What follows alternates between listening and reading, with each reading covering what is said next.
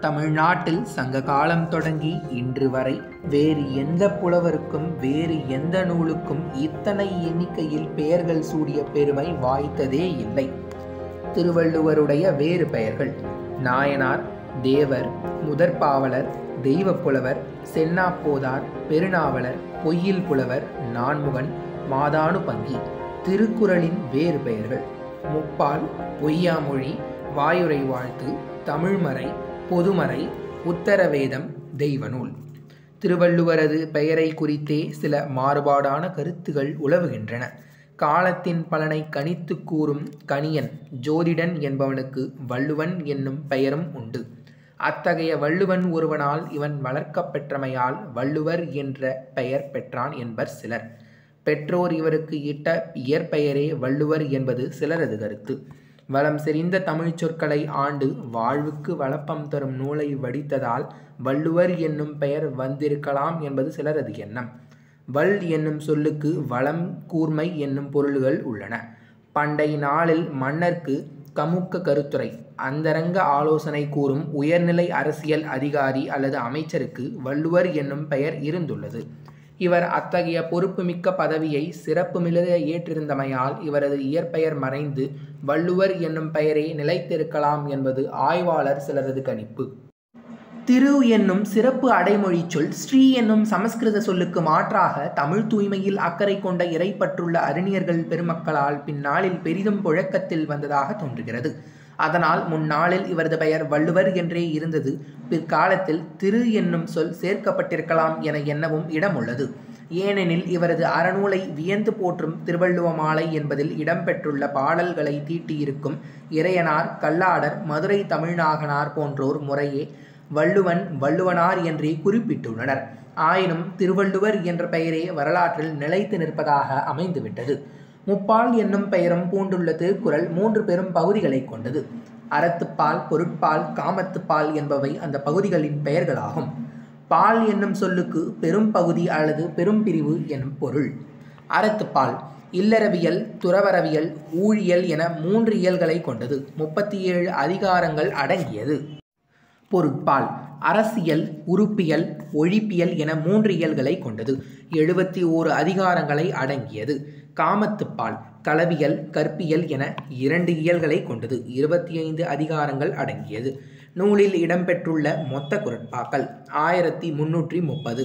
ஆயினும் இந்த எண்ணிக்கையை பொறுத்து இந்திய விடுதலைக்காக சிறையிலே செக்கு இழுத்த தியாகச் செம்மலும் இறுதி காலத்தில் பகுத்தறிவு பகலவன் தந்தை பெரியார் அவர்களது சீர்திருத்த கொள்கைகளை ஏற்றவருமான உ சிதம்பரனார் ஒரு மாறுபட்ட கருத்தை ஆய்ந்து கூறியுள்ளார்.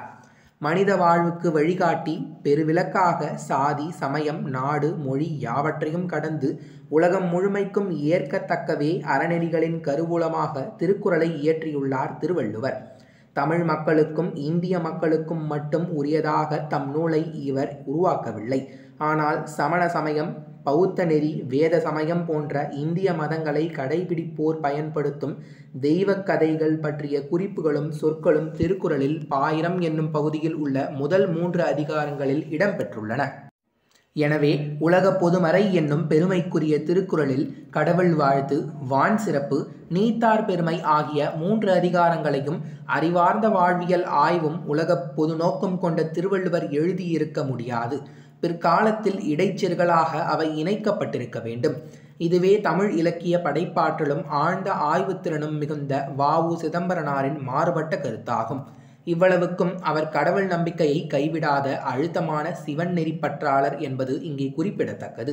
இவ்வாறு அவர் சான்றுகளுடன் எடுத்துரைத்தாலும் பழைய பாதையை விட்டு புதிய சாலையை போடுவதற்கு எப்பொழுதுமே தயக்கமும் அச்சமும் கொள்ளும் திராவிடத் தமிழினம் குரட்பாக்களின் எண்ணிக்கையை ஆயிரத்தி முன்னூற்றி முப்பது என்பதிலிருந்து குறைத்து கொள்ள துணியாது என்பதே நடைமுறை உண்மையாகும். ஆளும் வேலும் பள்ளுக்குருதி நாளும் இரண்டும் சொல்லுக்குருதி என்பது தமிழகத்தில் நெடுங்காலமாக தவழ்ந்து வரும் ஒரு பழமொழியாகும். நாளும் என்பது நான்கு அடிகளை கொண்ட நாலடியார் என்னும் அறநெறி நூலையும் இரண்டு என்பது இரண்டு அடிகளை கொண்ட திருக்குறள் என்னும் அறநெறி நூலையும் குறிப்பனவாகும். பழச்சுவை மிக்க இந்த பழமொழியிலிருந்தே திருக்குறளின் நெடுங்கால தனிச்சிறப்பை தெரிந்து மகிழலாம்.